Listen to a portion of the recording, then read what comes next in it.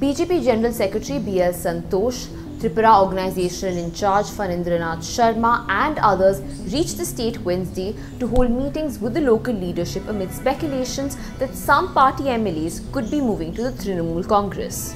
This comes at a time when Mukul Roy, who recently returned to the TMC from the BJP, is leading the charge in reaching out to rebel BJP MLAs in Tripura. After delivering a blow to the Saffron Party in West Bengal, the TMC announced that it would expand its base in other states. Tripura BJP President Manik Saha asserted that all is well in the BJP family and any differences will be resolved through discussions. However, the ride after coming to power in Tripura has not been easy for the BJP. Chief Minister Biplab Deb has constantly faced criticism for making flippant remarks and internal rebellion has been brewing for a while.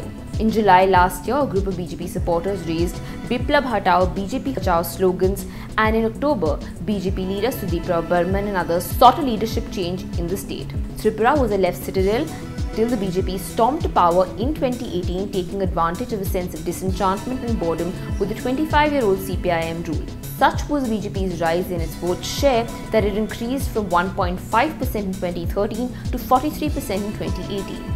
A key to BJP's rise in the state was its ability to build its organization and cadre base quickly by taking in defecting left and Congress workers. Now the party seems to be at the risk of being at the receiving end of this strategy with the TMC keen to tap in on the resentment in the state BJP. This is Revathi Krishnan, you're watching Politicker.